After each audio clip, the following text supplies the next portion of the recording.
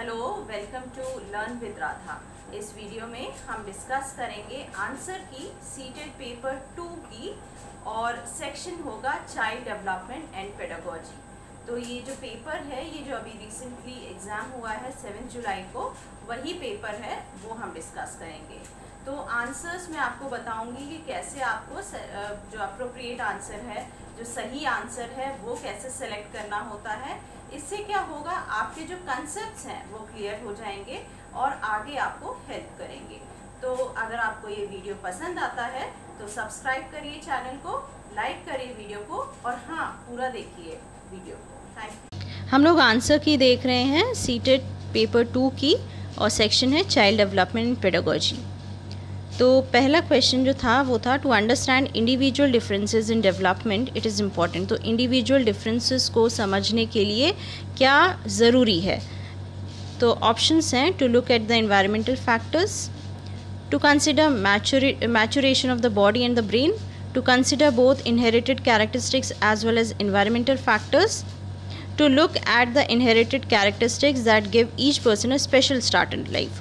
तो खाली inherited characteristics को हम कंसिडर नहीं करते इन्वायरमेंटल फैक्टर्स को भी कंसिडर करते हैं, क्योंकि ये दोनों ही बहुत इंपॉर्टेंट है किसी भी इंडिविजुअल को फॉर्म करने के लिए, उसकी कैरेक्टरिस्टिक्स डिफ़ाइन करने के लिए। तो ना तो हम इन्वायरमेंटल फैक्टर्स को खाली कंसिडर करेंगे, ना ही इनहेरिटेड कैरेक्टरिस्टिक्स को खाली कंसिडर करेंगे, या खाली maturation of the body and the brain को कंसिडर करेंगे। तो ये है correct option which of the following is not a principle of development तो डेवलपमेंट का यहाँ पर कौन सा प्रिंसिपल नहीं है, हमें वो बताना है। तो development is relatively orderly development takes place gradually over a period of time individuals develop at different rates तो ये तीनों जो हैं, ये कैरेक्टरिस्टिक्स हैं डेवलपमेंट के but exact course and nature of development is determined at the time of birth itself. ये development के रिलेशन में करेक्ट नहीं है। क्यों? क्योंकि हमें ये नहीं पता कि कैसा डेवलपमेंट होगा उस बच्चे का।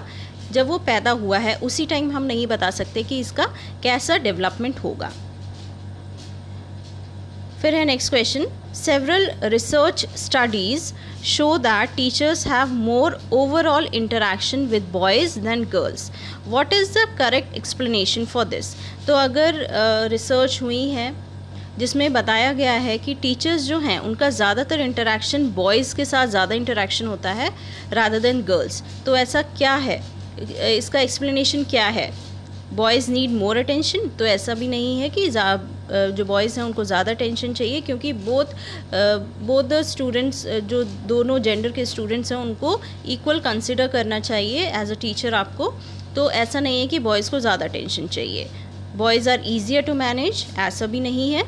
Boys are much have they have much more academic capabilities तो ऐसा भी नहीं है। गर्ल्स भी ज़्यादा केपेबल होती हैं। तो ये जो एक तरह का ये जो स्टडी हुई है ये एक्सप्लेन कर रहा है कि जेंडर बायस हो रहा है। एक जेंडर के साथ बायसनेस हो रही है आ, अच्छा नहीं हो रहा है। तो यहाँ पर जो है this is an example of gender bias in teaching next question है which of the following is central to the concept of progressive education तो प्रोग्रेसिव एजुकेशन जो है उसका जो सेंट्रल कंसेप्ट है, वो क्या है? ऑप्शंस हैं belief in the capability and potential of every child standard instruction and assessment तो स्टैंडर्ड इंस्ट्रक्शन एंड असेसमेंट नहीं होना चाहिए प्रोग्रेसिव एजुकेशन में क्योंकि इंडिविजुअल डिफरेंसेस uh, को कंसिडर करना चाहिए। Extrinsic motivation and uniform assessment parameters तो ये भी नहीं है प्रोग्रेसिव एजुकेशन में। टेक्स्ट बुक सेंट्रिक लर्निंग ये भी नहीं है। तो सही जो ऑप्शन है वो है believe in the capability and potential of every child हर एक बच्चे को उसकी कैपेबिलिटी में, उसके पोटेंशियल में एक टीचर को बिलीव करना चाहिए।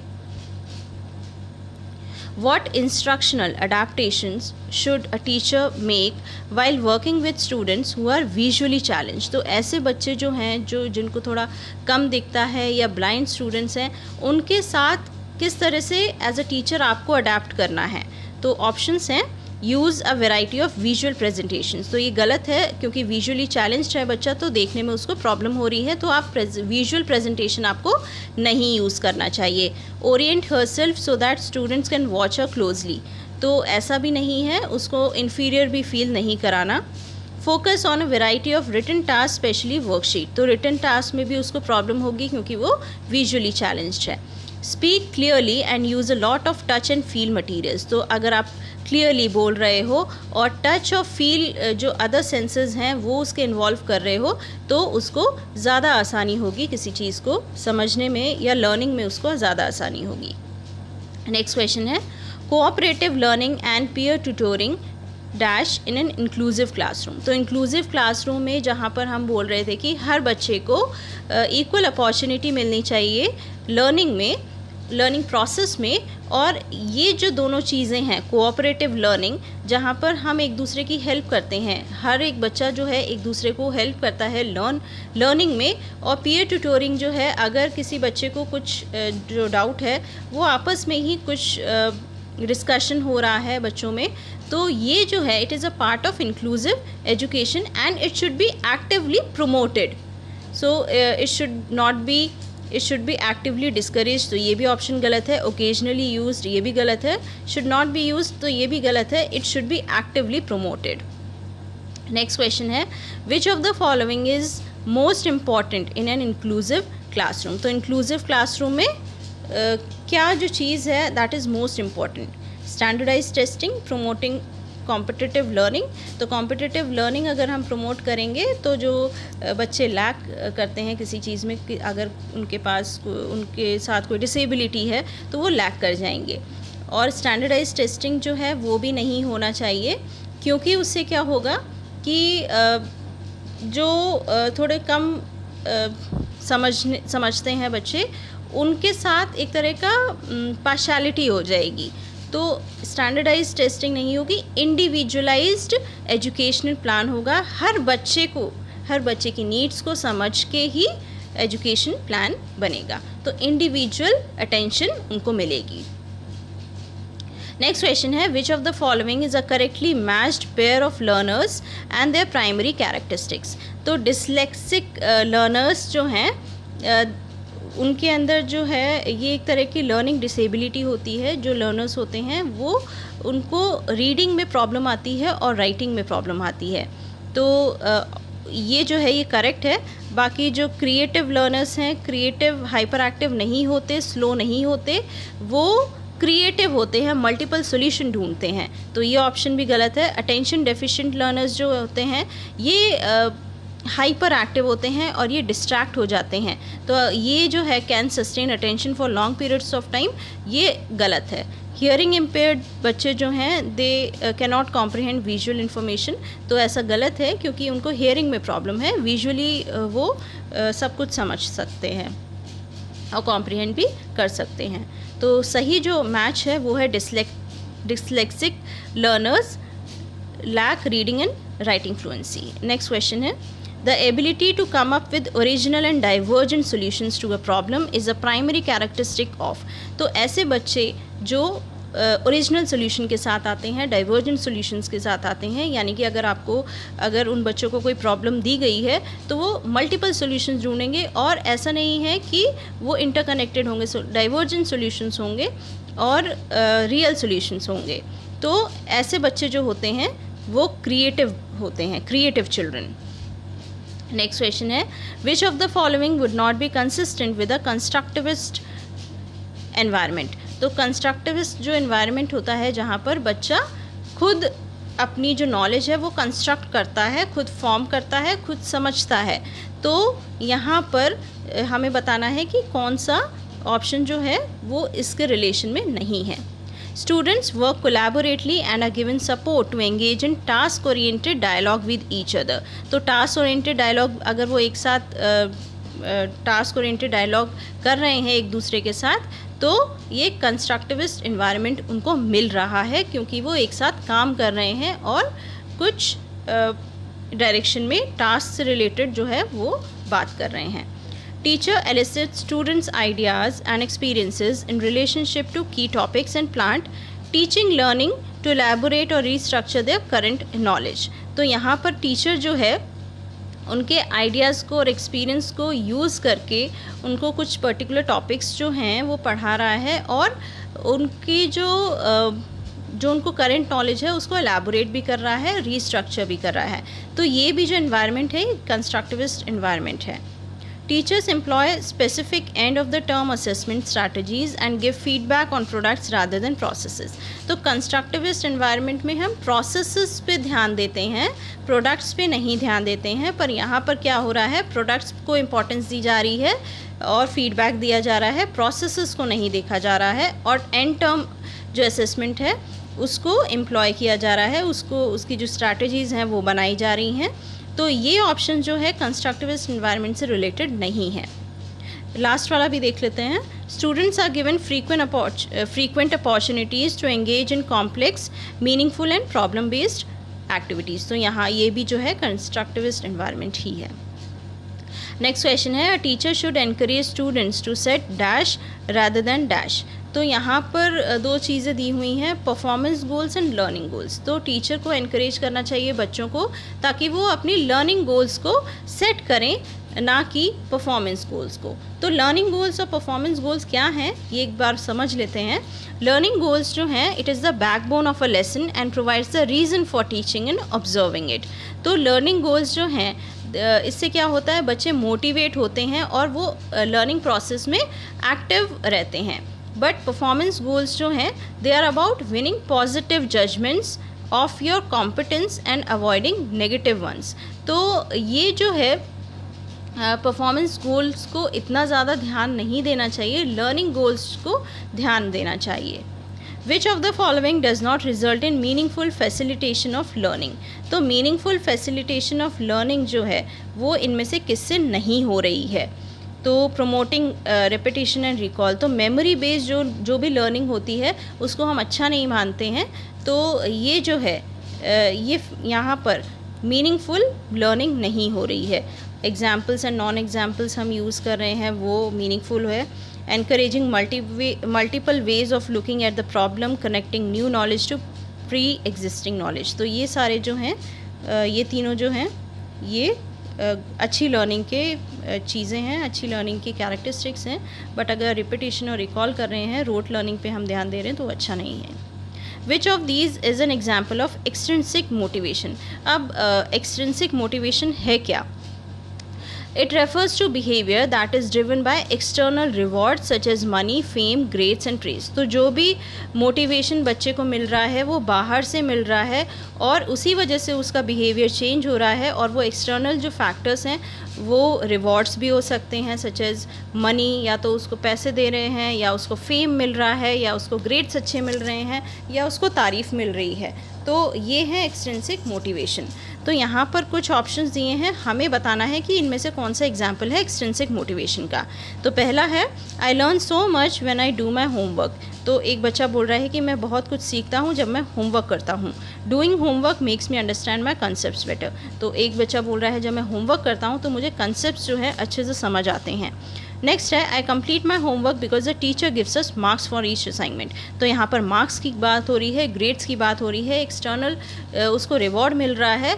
तो यहाँ पर है कि वो इसलिए अपना होमवर्क कर रहा है क्योंकि उसे मार्क्स मिल रहे हैं। तो ये है एक्सटेंसिक मोटिवेशन नेक्स्ट है I enjoy my homework because it is so much fun तो ये जो है, ये एक तरह का एग्ज़ाम्पल है इंट्रेंसिक मोटिवेशन का, जहाँ बच्चा इंट्रेंसिकली अंदर से ही मोटिवेटेड है पढ़ने के लिए होमवर्क करने के लिए। नेक्स्ट क्वेश्चन है. In a primary classroom a teacher should तो प्राइमरी क्लासरूम में एक टीचर को क्या करना चाहिए?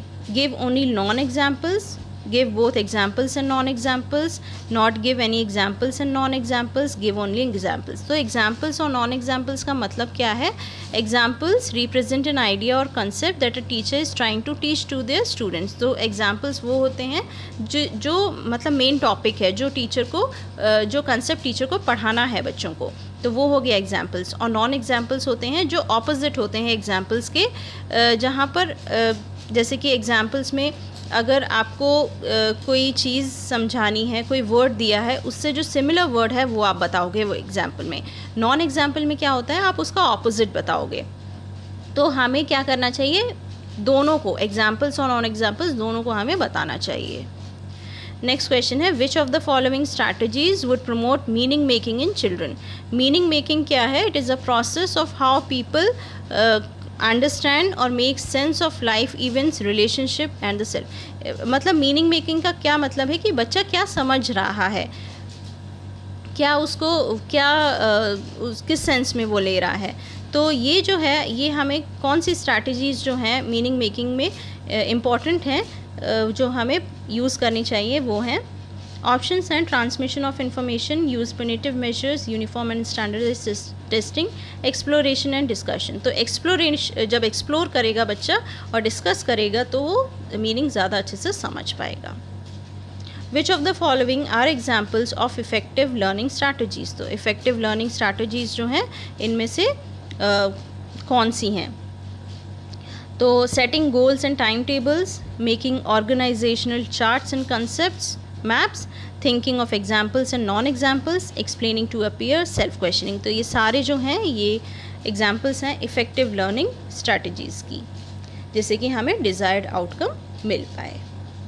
नेक्स्ट क्वेश्चन है in the constructivist frame child is viewed as तो कंस्ट्रक्टिविस्ट जो फ्रेम है, जहाँ पर बच्चा खुद सीखता है, खुद अपनी नॉलेज कंस्ट्रक्ट करता है, और वो नॉलेज जो है वो आसपास ऑब्ज़र्व करके, आसपास देख के एक्सपेरिमेंट करके ऐसे सीखता है।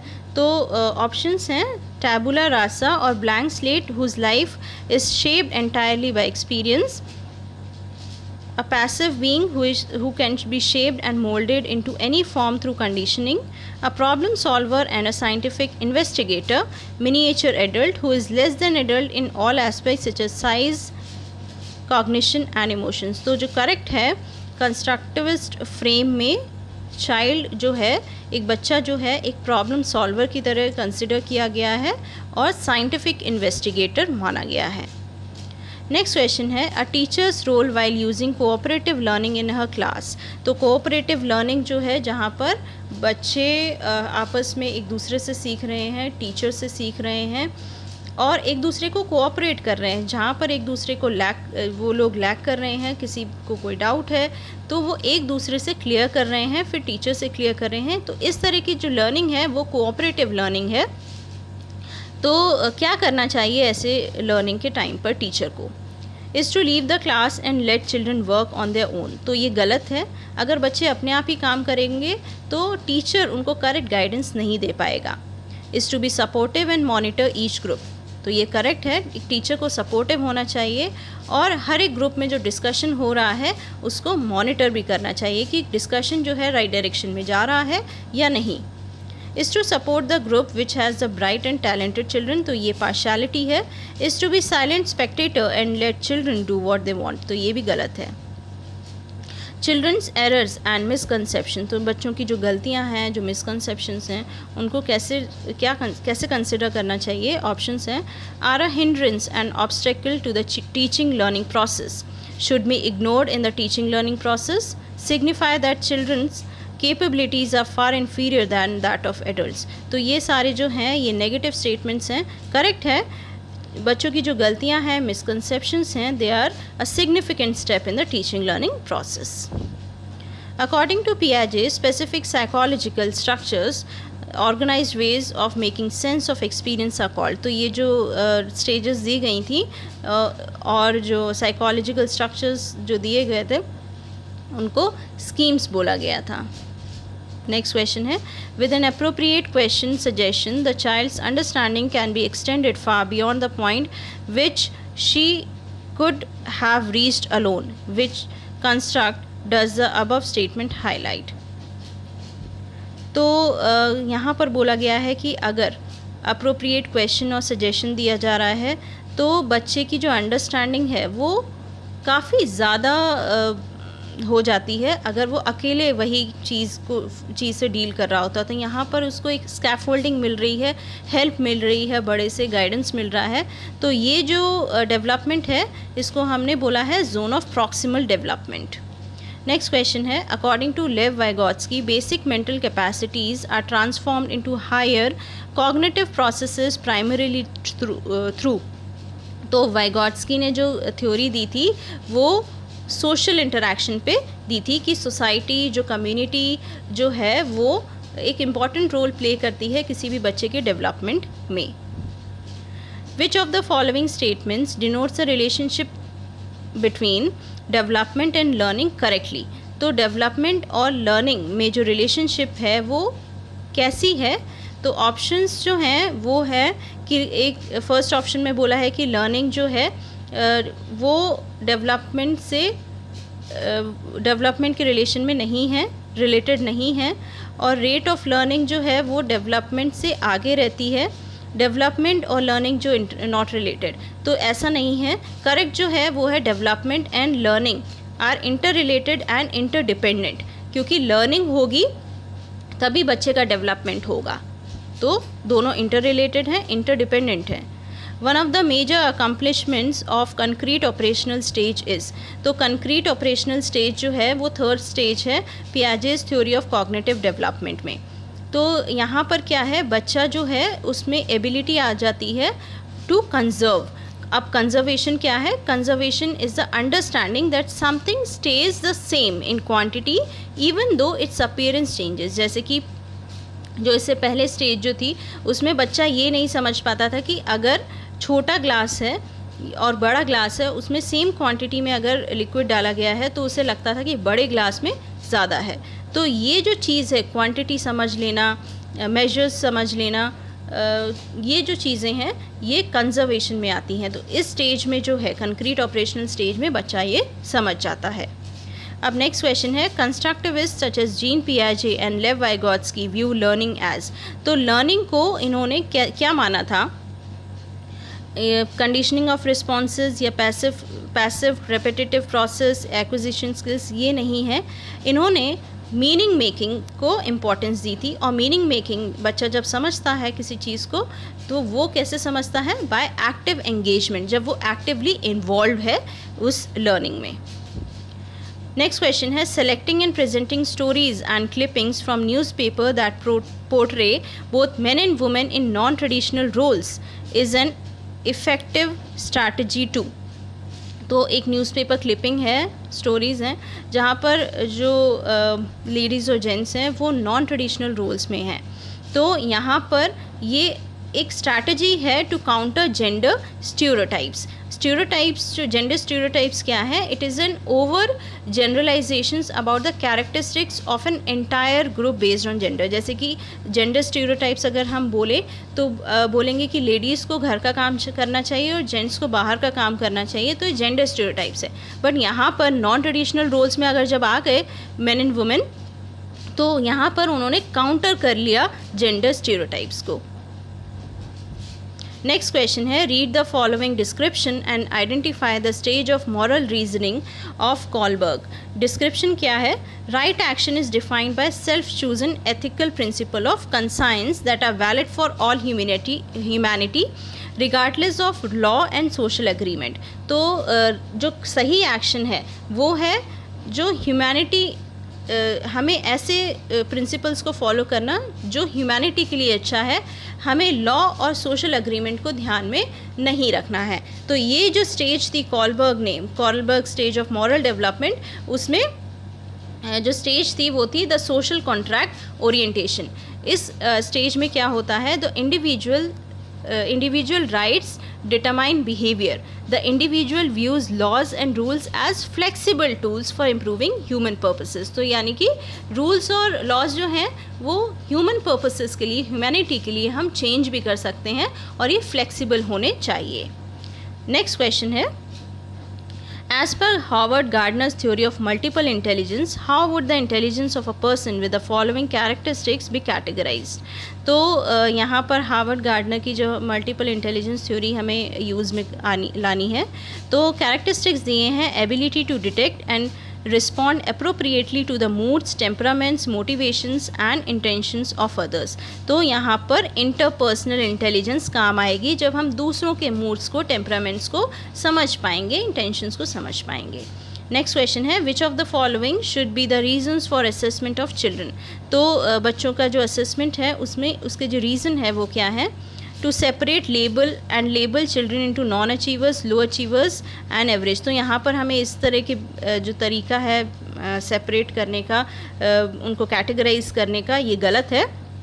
To improve teaching learning process तो असेसमेंट का जो मेन फ़ंक्शन है, वो है कि हमारे जो टीचिंग लर्निंग जो प्रोसेस है क्लासरूम में कैसा हो रहा है, उसको और इम्प्रूव करना, हमें बच्चे की प्रोग्रेस देखना और कितने बच्चे ने कितने पीरियड में कितनी प्रोग्रेस करी, वो देखना और हमें डिस्कस करना कैपेबिलिटीज़ बच्चों की capabilities potential strengths and challenging areas of the child with the parents तो पेरेंट्स से डिस्कस करना, ये जो है, ये आउटकम होने चाहिए एक असेसमेंट के, ना कि उनको लेबल कर देना नॉन अचीवर्स लो अचीवर्स इस तरह से। तो सेकंड थर्ड एंड फोर्थ जो है, वो करेक्ट है।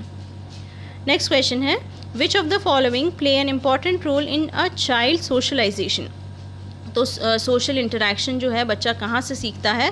कौन कौन से चीज़ें हैं जो इंपॉर्टेंट रोल प्ले करती हैं?